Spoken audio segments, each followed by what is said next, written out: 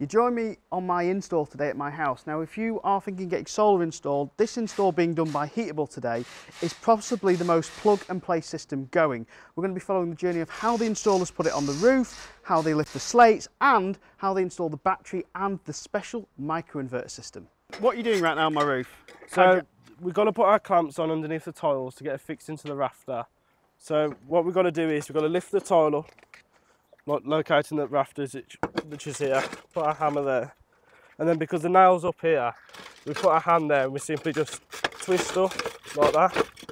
And then we simply just lift up. And then that's our rafter. Okay, and on, on my slates, do you cut them at all, or do you just put literally If, put... if they kick up too much, like obviously this is quite narrow down, but sometimes because of the thickness of the tile, we've got to cut it so it's all flush. And your job as a profession is a... Roofer. Okay, so you're Yeah. not electricians, you're, you're doing no, the roof work. We and just do the roof work and then the, s- the sparkies come and do the rest. Is this one of the better railing systems you've used? Yeah, it's a very good system this is because like you say, the saving on T-bolts, it's literally an interlocking system into these small brackets on the back. It clicks into the uh, groove that's uh, in the rail and then it's literally just a uh, T40 drill bit to screw it up and then it all clamps in place. And is this easier to level up and connect together? Yeah, usually just for levelling, we usually just go to the top of the bracket and then if there's any, when we land the panels, there might be a slight difference if the roofs give way over time. This one we should be fine 'cause it's a new build. However, if the roofs give way, we can adjust these to like level the panels back out when installing the panels. Kieran, I'm just going to uh, test you. What, what are you doing here at the moment? What's this for? Uh, we're just creating the plate for um, all your accessories for your solar PV. So, got your isolator, your consumer unit, your box of tricks for the Enphase, the meter.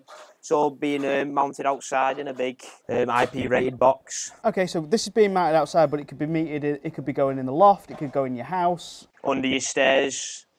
Um, ideally near to your meter and everything to keep because obviously the cables only come with a pre wired length on them, but they can be extended, but it's better to keep them Okay, so what's going on this board altogether then?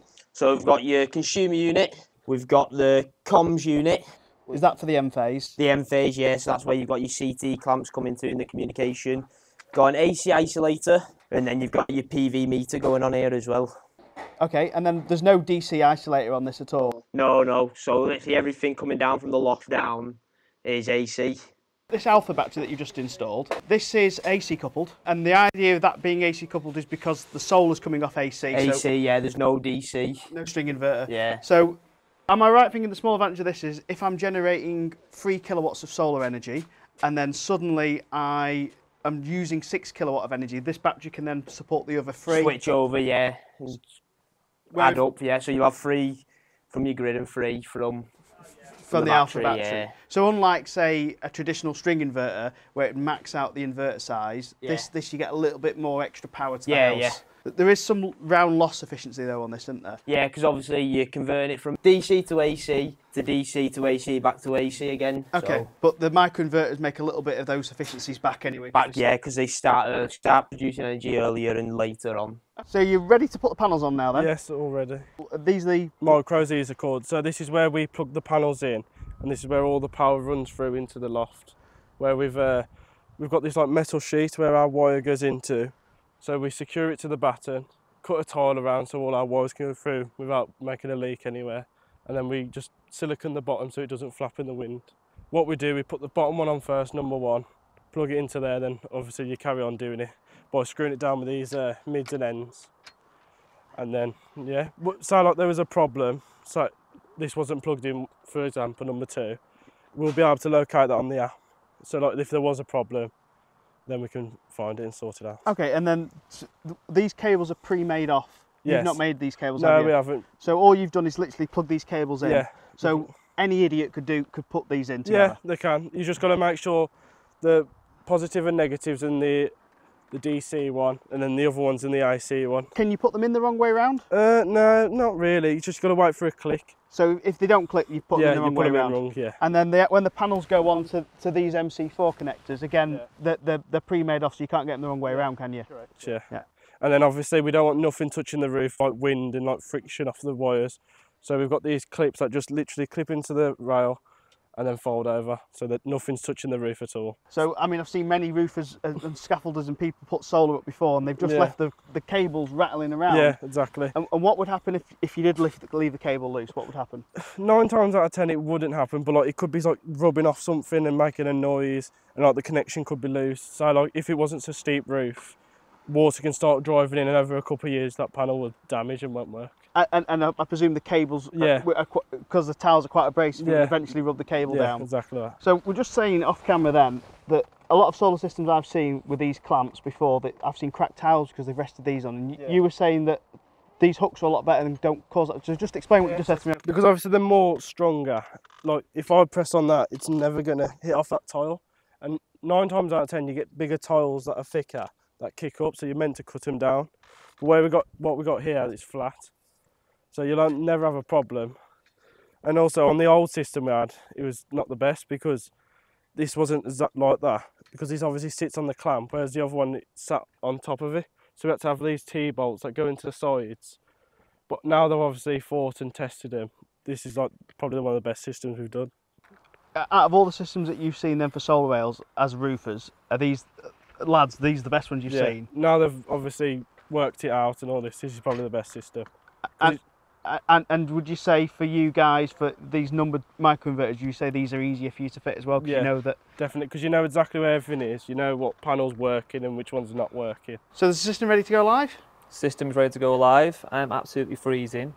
Um, and it's not a perfect time, but we are ready to go. So everything's installed, everything's just been powered up. Next job now is to commission the system. So essentially, this is where we're going to give an address to every panel. So with this system, you get individual control over each panel. When we put the system on the roof, there were some little barcodes on the bottom of the microinverters. The guys took them off. They built this here, which is an array map.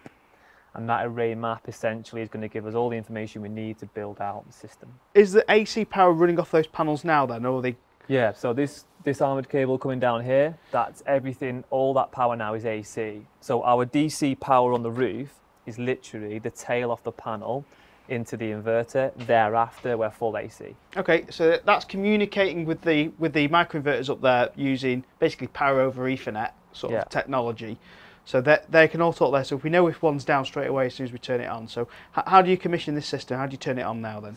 So essentially, we've powered it up. Um, there's an access point mode on the Envoy. So the Envoy is this piece of equipment here, and the, the Envoy essentially is the gateway to the, the whole system.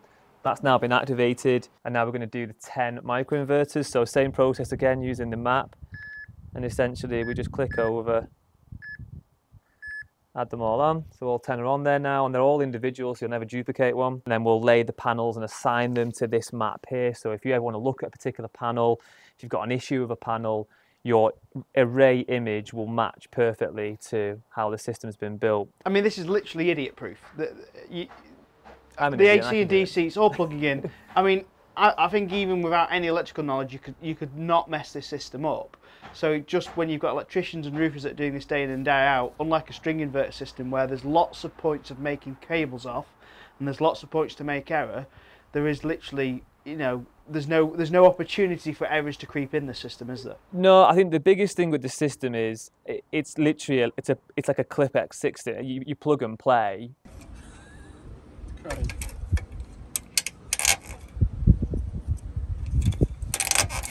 Yeah, so we've commissioned the Enphase system. That's been done. Now we're going to commission the Alpha battery, and that's what's going to give you all the information that you need about battery storage consumption. I presume because the Enphase system can't see this, it, will only see this battery as a load. So this is probably, if you're having a battery system off you guys with the Enphase system, this is the app I want to check really to see how much I've generated. Hundred percent. Yeah. So your Enphase system will show consumption as battery charge, whereas the Alpha has got a CT clamp on the production of the PV and on consumption, so it knows what's going on. This being a five kilowatt hour battery. Yeah. Um, and that's the, the base model that you sell at. But I was recommending that people who are thinking of getting a battery off Heatable, that majority of most homes will probably need at least 10 kilowatt hours. And we, we both kind of agree that's probably more likely.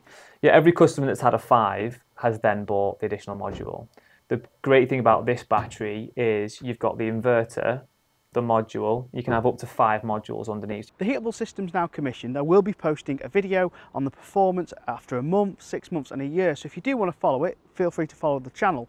If you want a fixed quote from Heatable, go to evnick.com forward slash solar or heatable.co.uk where they can give you an instant fixed price online. Now, if you want to see how they do that and an interview with the owners of Heatable, check out this video here. So, whoa, missed that one.